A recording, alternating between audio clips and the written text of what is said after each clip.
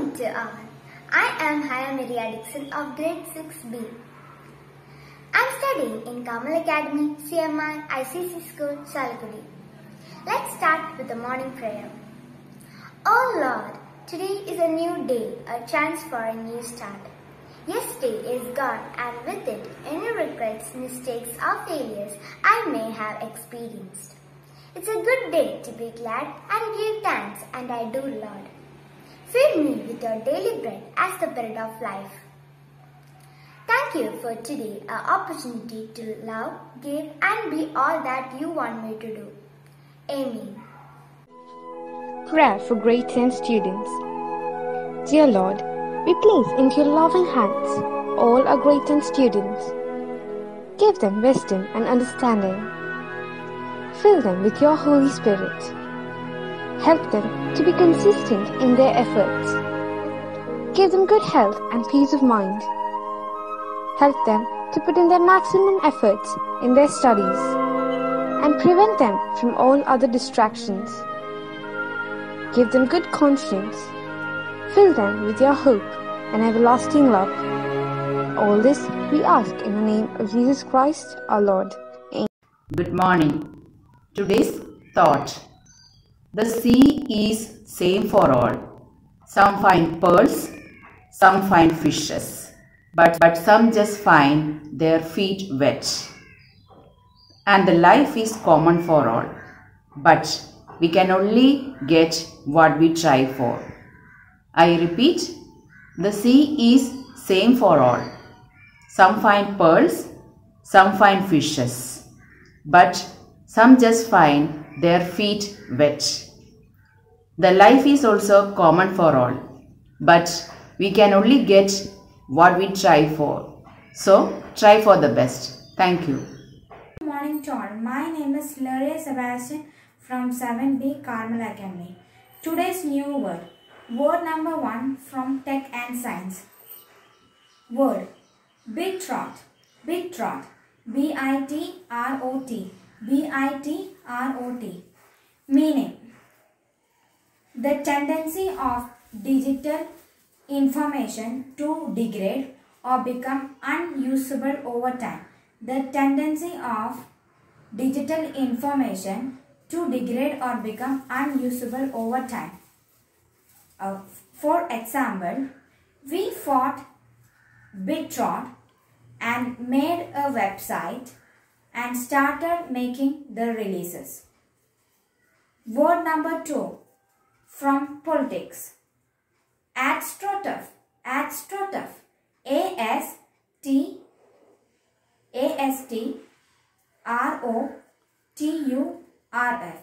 A S T R O T U R F. Meaning falsely made appear. Falsely made appear. Artificially create public support. Artificially create public support. Example Astroturf movement designed to trample any opposition. Thank you and have a nice day. Good morning to all. Today's news, the headlines. International news. COVID-19 Omicron scare in China's Tianjin close to Beijing ahead of Winter Olympics. National news. India adds 1.79 lakh COVID-19 cases today. State news. SFI activist stabbed to death in Idukki College. Youth Congress member arrested.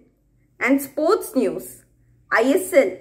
Ibara's twin strike hands Bengaluru 3-0 win over Mumbai City. That's all for today's news. Thank you and have a nice day. Good morning everyone, I am Evelyn Nabi of grade 6A of Carmel Academy, CMIC School, Chalakudy. Today I am going to talk about a novel called Oliver Twist. It was written by Charles John Huffam Dickens.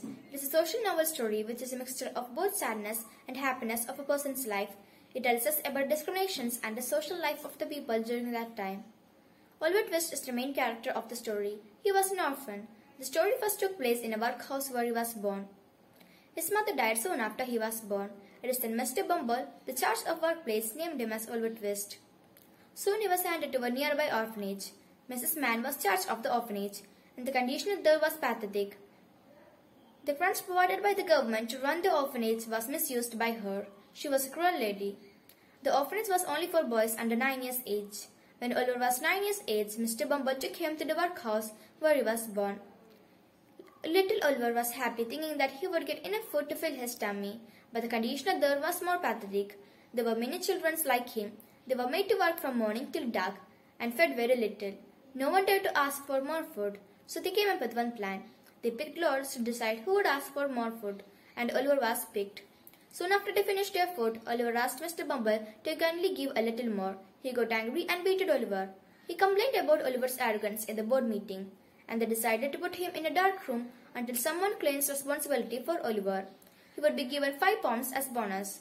After a week, Mr. Soberry arrived as an undertaker and took responsibility of Oliver, as needed a boy to work in his shop and house.